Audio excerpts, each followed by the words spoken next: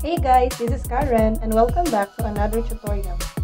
Pansin niyo ba ang mga subtitles sa YouTube?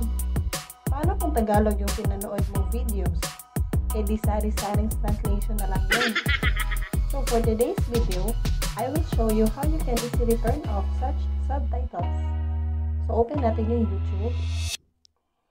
And guys, if hindi pa kayo nakaka-subscribe sa aking channel, subscribe mo na yan the like button and share this video if nagustuhan nyo. Mahanap tayo dito na may subtitle sa video.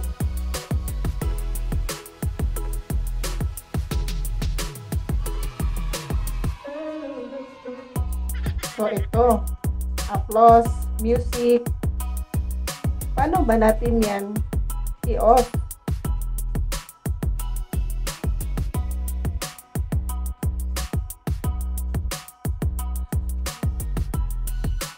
So, click nyo yung screen nyo, guys.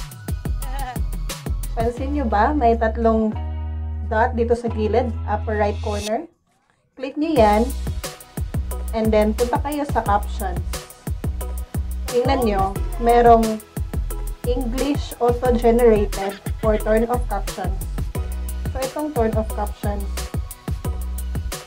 yung pipindutin natin. So, di ba? Nawala na yung ano? Ganun lang ka-easy, guys. If may isa-suggest pa kayong tutorial, please comment down below. Hope you like it and see you on my next vlog. Bye! Yeah.